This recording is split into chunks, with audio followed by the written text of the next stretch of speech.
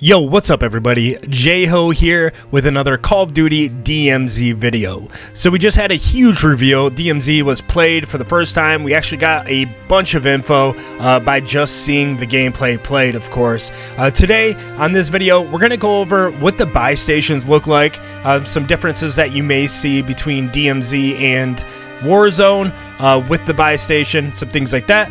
Um, but if you are new here, make sure to go ahead and click the subscribe button and like the video. It definitely goes ahead and helps out. We're going to be dropping a ton of videos with all of the reveals that just happened. So thanks for hanging out. So as you can see here, we will be running up to the buy station just as well as you would in Warzone. Same thing, same deal uh, that you're going to see in Warzone 2.0. Couple big things here that we're going to see is going to be your gear. In the first section of your gear, you will see that each buy station, as I'm showing you two here, uh, has different items of what you can buy.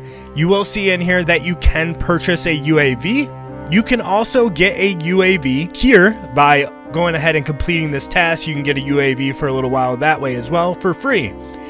Next item you'll see here is to buy contraband. So contraband would be weapons. Uh, as you can see here, there are several different weapons with different attachments uh, that cost different prices of money.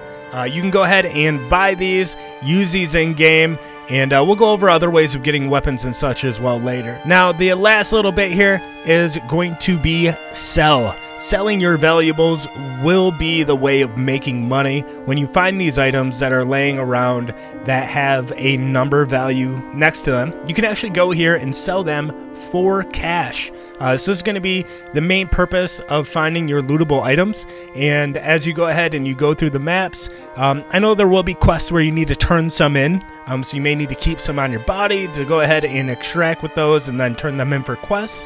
Uh, but mostly, it looks like all of the valuables are just going to be sellables. And there is no traders that you sell to out of raid, you sell everything inside of the raid. So that's what we have here today for our DMZ update. Hope you enjoyed the video. Make sure to subscribe to the channel so you can get more future DMZ update videos. Make sure to like, it definitely helps out a ton with the YouTube algorithm. And most importantly, make sure you have a good day. We'll catch you on the next one.